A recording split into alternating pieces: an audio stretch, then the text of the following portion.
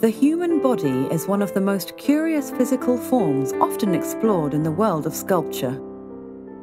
These are the cast marble and porcelain sculptures of Filipino Chinese artist Kylo Chua, a fine arts graduate from the Ateneo de Manila University, with a history of awards from many notable Philippine and Asian organizations.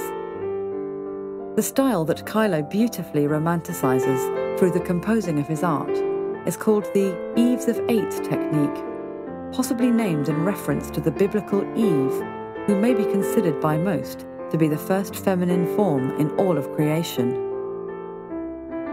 Kylo works with clay materials, forming and eventually creating artworks that defy the solid state of their hardening nature.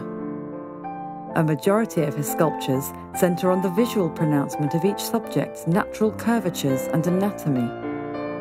His many human shape and animal themed pieces are gaining widespread recognition with audiences across Southeast Asia for their demure yet paradoxical elegance.